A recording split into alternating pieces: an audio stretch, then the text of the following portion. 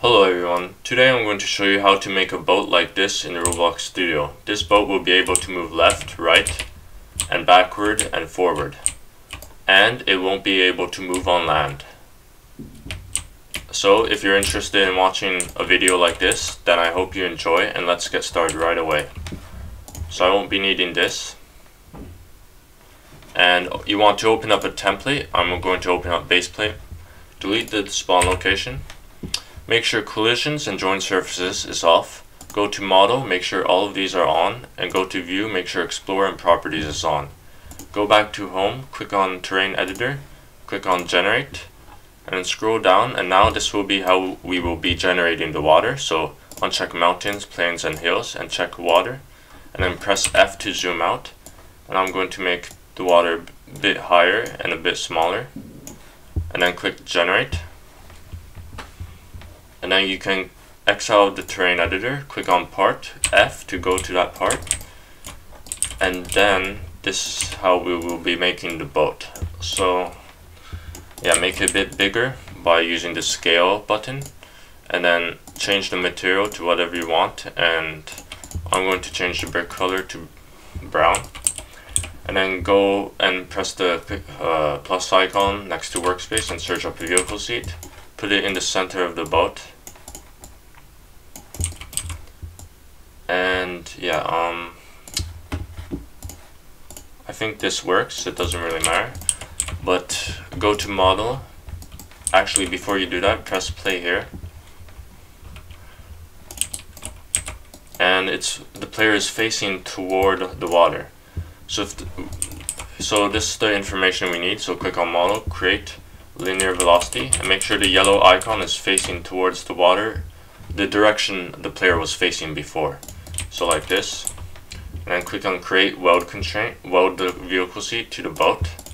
And click on create and then angular velocity and put it on the boat. And now we want to go to linear velocity. Change the velocity constraint mode to line and then line velocity to 0 and max force to 10,000. This will be bigger or smaller depending on the size of your boat and then go on angular velocity, change it the angular velocity to 0, 0, 0 and the max torque to 10,000 which also depends on the size of the boat. And then you can group the boat. So select the parts, press CTR plus G or right click and press group and then rename it to boat.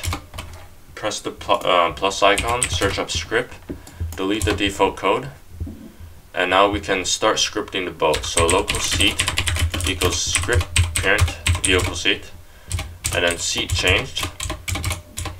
So seat change connect function. So this function will fire every time the player changes a property of the vehicle seat by pressing the W, A, or S or D keys on their keyboard.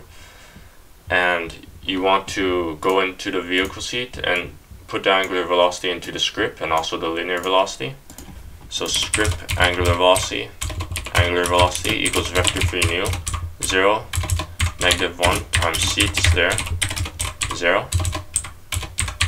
And then script linear velocity, line velocity equals 50 times seat for all. This is the speed of um, the boat. So now we can press play here. And yeah so it works perfectly fine but if I go right the boat doesn't turn right. It still goes on one line. Why is this? Well if you press stop and go back to your linear velocity it's because the relative to is relative to world. So, so that means it'll only go on the same same axes like this axis this axis and the up axis so if your boat turns right, it won't go along this axis, it'll still go along this axis. So change the, the relative to, to zi attachment 0. Go back to home and press play here. And now it's going to work perfectly fine. But now we have another issue. It's driving on land. So to fix this, you want to go back to the script and now make another variable called um, params equals raycast params new params filter descendant instances equals table workspace terrain and then um, params filter type equals enum raycast filter type whitelist. And then you want to do a while loop while wait do. This is a loop that will repeat over and over again.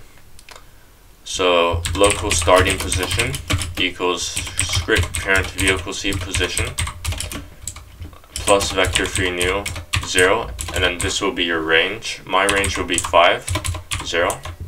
Then local ending position equals script parent vehicle seat position minus vector free new. And then what is 5 minus 5 times 2? That's 10. That's um so so what what is 5 plus 5 times 2, sorry. That's like 15.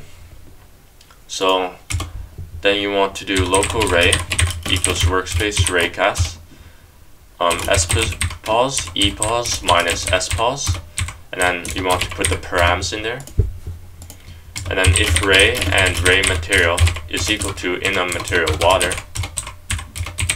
then else if not ray or ray and ray material is not equal to enum material water then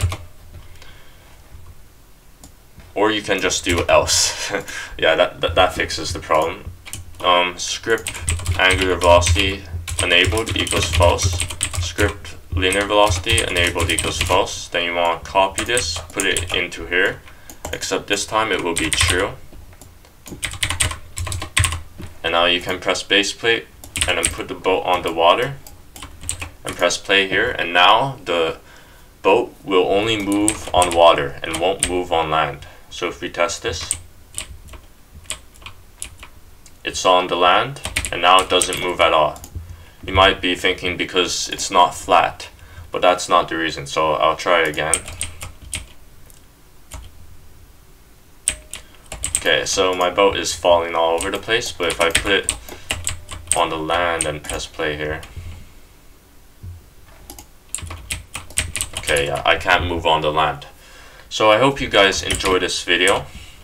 I didn't really have time to explain since I wanted to make the, keep this video short. So if you have any questions, um, make a comment down below. And I hope you guys enjoyed. Peace out.